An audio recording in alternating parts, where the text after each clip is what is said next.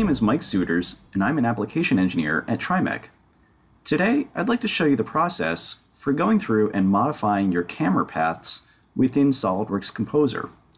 This can be a bit of a daunting process, so in today's tech tip, I hope to show you how to make this process a little bit easier. What we'd like to create here is basically an animation that spins around our swing set, goes up the stairs behind the slide, goes through the tunnel that you see at the top of the swing set, and then down the other slide, and finally takes a look back at the entire swing set. It's a pretty complex animation, and we're going to use a few of the tools within Composer to help us along the way. First thing that we'd like to have here are a couple grids. These grids are going to help us not only place our camera, but also align the direction or the point of focus where that camera is actually looking. So let's go ahead and create those. The way we can do that is just go to our Author tab and choose to create a grid. There's two different ways we can create grids here. We can either create a grid just from standard points that we've selected uh, within the, the assembly, um, or we can go through and choose to create a grid on geometry. That's going to be a better option for me in this case, since I'd like to have the camera go right through the middle of the, the tube at the top and then down the middle of the slide. So let's go through and create two grids to kind of help us out here.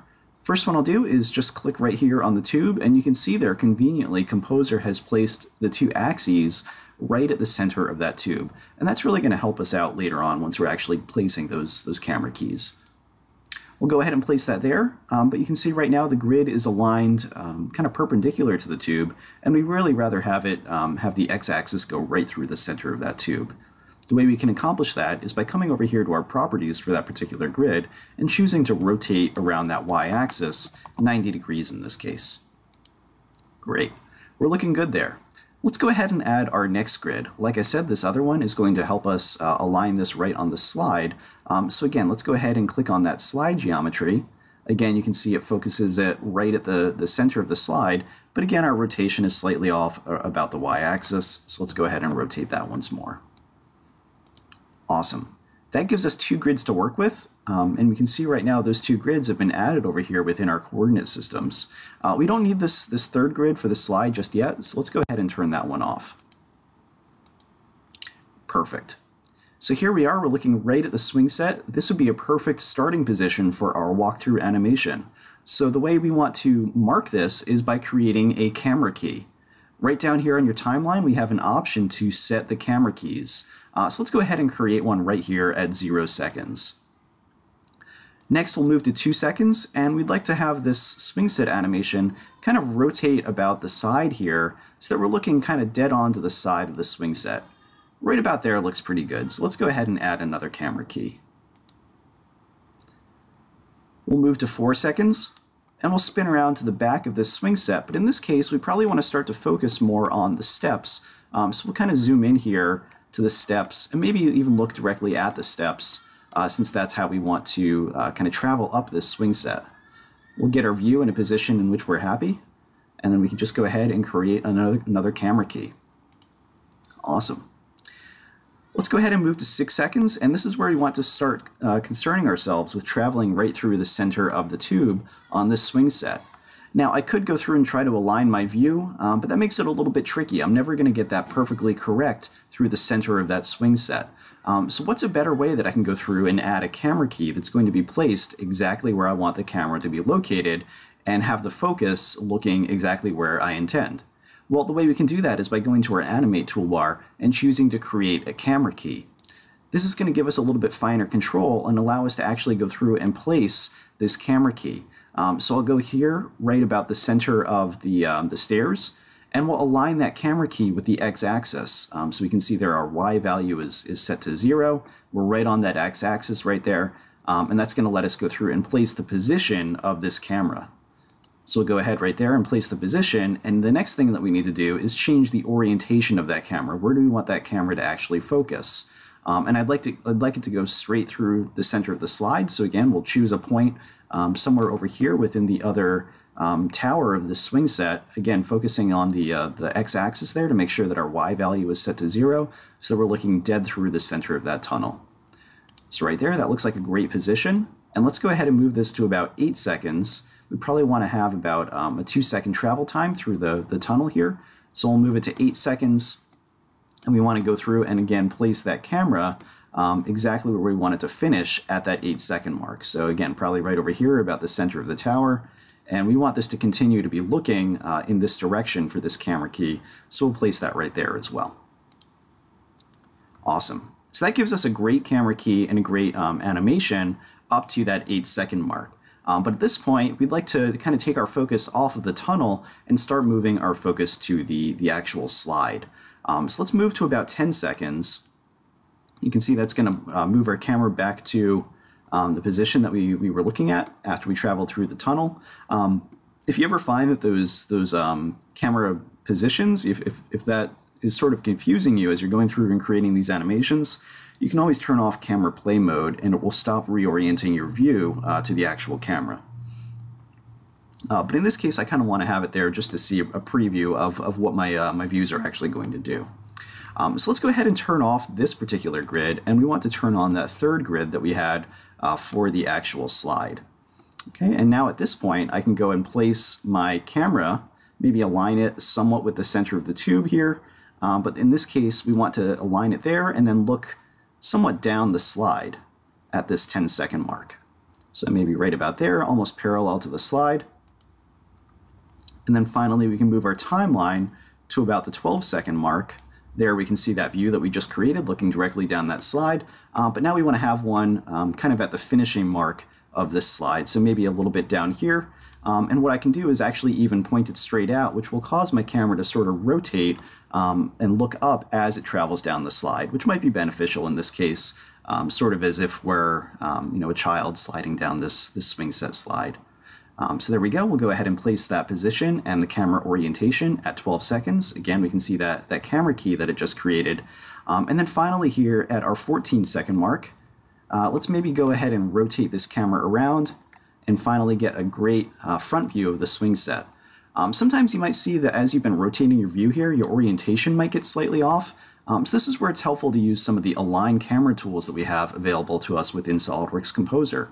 Um, so in this case, maybe I want to get a front and back view, and that will allow me to reposition this and sort of get that better isometric view, uh, looking right up at this swing set.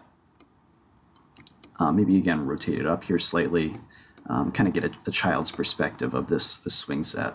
Um, so right there, that's looking pretty good uh, for my, my final camera key.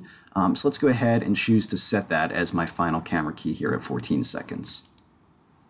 Awesome. Okay, so let's go and turn off our grid um, and maybe go back to the start of our animation so we can see exactly what it is that we've just created. Um, I also have my create camera key button still on, so I'll just turn that off so that we can get a nice, uh, a nice clean view here. Uh, so let's go ahead and play this and see what our animation looks like right now. So again, we can see we start there at that isometric view, swing around to the back, kind of go up the stairs here, and then up through the middle of that tube, turn around to look at the slide, and then slide right down there. Um, so we can see through that process there um, that things weren't quite as smooth as I might like. Um, you can see that we actually went underneath the slide. Uh, we had a bit of a, a, rotation before we went through that tube. Um, so what we can do here now is we can actually analyze our camera path. And the way we're going to want to do that, again, is by turning off the camera play mode. So here, if I go to my camera path, I can turn on my, my linear camera path and see exactly what it is that I've just created. So if I go back to the, the start of my animation here, I can see that camera kind of traveling all throughout this path. Okay, and if I, I, zoom out here, I can see the start of our camera is up here. Now on this camera path, it's important to understand the, the distinction that we see here between the blue lines and the yellow lines. So the blue lines are the position of the camera, while the yellow lines are the focus of the camera. Wherever you see a red mark on either of those lines, that's indicating that we have a camera key right there. Um, so you can see here as I play from one camera key to the next, we're traveling along that blue line, and then as we get to that next camera key, we're at that red dot. Um, and we can also see where the focus is uh, for that particular camera. You can see it's highlighting uh, this, this point of focus right, right here. Um, so again, it's, it's not really exactly what I'm looking for yet, and in fact, this looks a little bit blocky um, if I look at the way that this camera view was created. Um, so what might be beneficial to do in this case is turn on a custom camera path. Um, so what that's going to do is give me some additional handles here uh, where I can go through and sort of change um, how this camera is actually uh, functioning. Um, so here, as we travel uh, from our first camera view to the next, um, we might want to um, maybe make this a little bit smoother. So if we go back to that camera path, uh, as well as show our camera, that will give us the ability to actually grab these handles and sort of tweak these. So here you can see I can maybe make this a little bit of a smoother path by dragging this handle uh, kind of about wherever I'd like it. You can see right there that's giving me more of a, a, a down slope and I kind of want more of an up slope. So let's go ahead and grab that and maybe pull it out here a little bit. And you may have to manipulate your view a few times in order to get this just right. Um, that's a little bit too much of a curve, so let's go ahead and bring that back in a little bit, maybe bring it more out here so we have a smoother transition from one view to the other.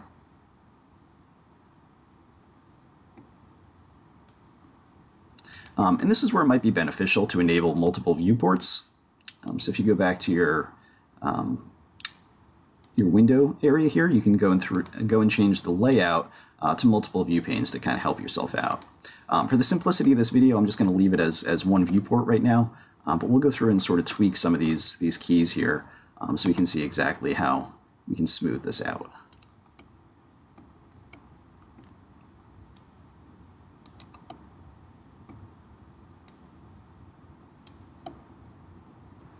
Okay, and if you remember over here on the slide, we were going a little bit too far uh, deep into the slide. We really just want to adjust the vertical position of that. Um, so let's maybe go through and align our view to the right side here so we can uh, just go through and change the vertical position of these, these keys. So go through and grab that key, maybe drag that up a little bit so we're a little bit higher up on that slide. Maybe the same thing for this one. Um, and if need be, we can also go through and adjust these key positions as well. So if we ended up a little bit too high there at the end, again, we can pull that up and sort of tweak this.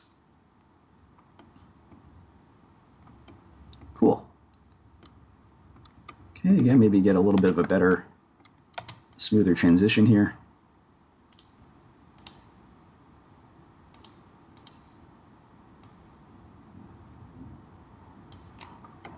by pulling these keys around.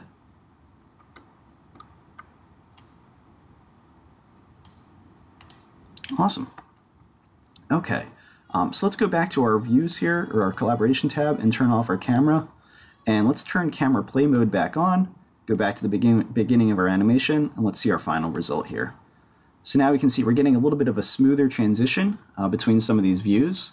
You can see here we're going up to that tube a little bit better now. And then finally out to our slide animation, we're no longer going underneath that slide, and we get a much nicer animation there as we, as we travel down it. Um, so that's the way we can go through and tweak some of the camera path options within SOLIDWORKS Composer. I hope you enjoyed today's tech tip and keep tuning into the TriMech blog uh, and checking the TriMech tips emails uh, for more, more tips and tricks. Thanks again.